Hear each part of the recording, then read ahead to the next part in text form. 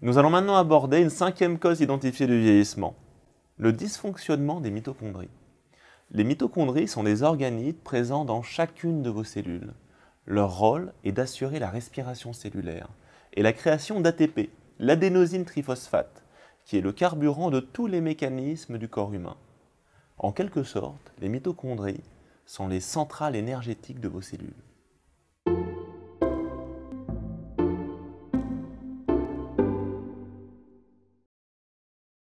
A noter qu'en dehors du noyau, les mitochondries sont les seuls organites de vos cellules à posséder leur propre ADN. On appelle celui-ci l'ADN mitochondrial. Donc dans chacune de vos cellules, vous avez non seulement l'ADN du noyau, transmis par vos deux parents, mais aussi l'ADN de vos mitochondries, transmis par votre mère biologique. Cependant, les protéines présentes à l'intérieur de vos mitochondries et qui permettent leur fonctionnement ne sont pas toutes issues de l'ADN mitochondrial. Pour mieux comprendre pourquoi les mitochondries dysfonctionnent, des études ont été faites sur l'évolution du fonctionnement des mitochondries à différents stades de la vie. Ces études ont montré que le dysfonctionnement des mitochondries était non seulement un marqueur de vieillissement, mais survenait sans qu'on observe de modifications significatives sur l'ADN mitochondrial. Cela suggère qu'une mutation de l'ADN mitochondrial n'est pas la seule cause du dysfonctionnement lié à l'âge de la mitochondrie, et que celui-ci serait dû à un ou plusieurs autres phénomènes. Alors, quels sont nos suspects?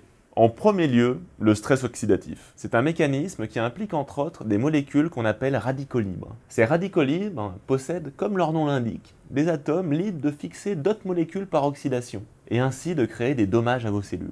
On a longtemps lié le vieillissement à l'usure engendrée par l'oxydation, mais la réalité est peut-être un peu plus complexe. Des études récentes ont en effet montré qu'augmenter ces niveaux d'antioxydants, qui combattent les radicaux libres, n'avait pas d'effet sur l'espérance de vie. Alors qu'en augmentant le niveau de radicaux libres dans certains modèles, on pouvait augmenter la durée de vie. Une explication possible serait que ce stress oxydatif forcerait l'activation des mécanismes de régénérescence potentiellement bénéfiques, comme l'autophagie, que nous avons évoqué précédemment. On le rappelle, l'autophagie est avant tout un moyen de défense de vos cellules. Lorsqu'un organisme ne fonctionne plus bien, la cellule va le cannibaliser pour permettre sa survie.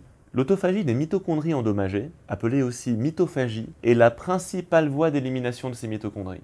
Les radicaux libérés par le stress oxydant pourraient engendrer un signal de survie bénéfique. En théorie, on suppose aujourd'hui que lors du vieillissement, le stress cellulaire et le nombre de lésions des cellules augmenteraient. Les niveaux de radicaux dans le corps augmenteraient parallèlement, dans le but de préserver l'organisme. Au-delà d'un certain point, ces niveaux cesseraient de maintenir l'équilibre cellulaire et pourraient aggraver les problèmes associés à l'âge. Le rôle des radicaux n'est donc pas encore clair pour les scientifiques. C'est une question qui fait vraiment débat. La deuxième cause qui lierait les mitochondries au vieillissement pourrait être la communication entre le noyau de la cellule et ses mitochondries. Cette communication est nécessaire pour la réplication de la mitochondrie. Elle est donc essentielle pour la cellule. Avec le vieillissement, les communications entre le noyau et les mitochondries se dégradent. Cette mauvaise communication peut mener à la détérioration des mitochondries, un phénomène qui à son tour entraîne un vieillissement de la cellule par diminution de l'énergie disponible. Et pour finir, il n'est cependant pas exclu que les mutations de notre ADN mitochondrial entrent aussi en compte. On va donc en parler un peu, même si elles ne sont pas forcément prédominantes. L'implication des mutations de l'ADN mitochondrial dans le processus de vieillissement a été prouvée. Il a été montré qu'une détérioration de l'ADN mitochondrial pouvait engendrer un vieillissement prématuré et réduire la durée de vie. Bien que l'impact de ces mutations ne soit pas aussi délétère que les mutations de l'ADN nucléaire, les scientifiques pensent qu'il est probable que l'ADN mitochondrial soit plus sensible aux mutations. En effet, une mitochondrie, sorte de centrale énergétique de vos cellules, n'est pas vraiment une zone confortable pour éviter les mutations génétiques. D'autant que les mécanismes de réparation de l'ADN mitochondrial sont bien moins évolués que ceux de l'ADN nucléaire.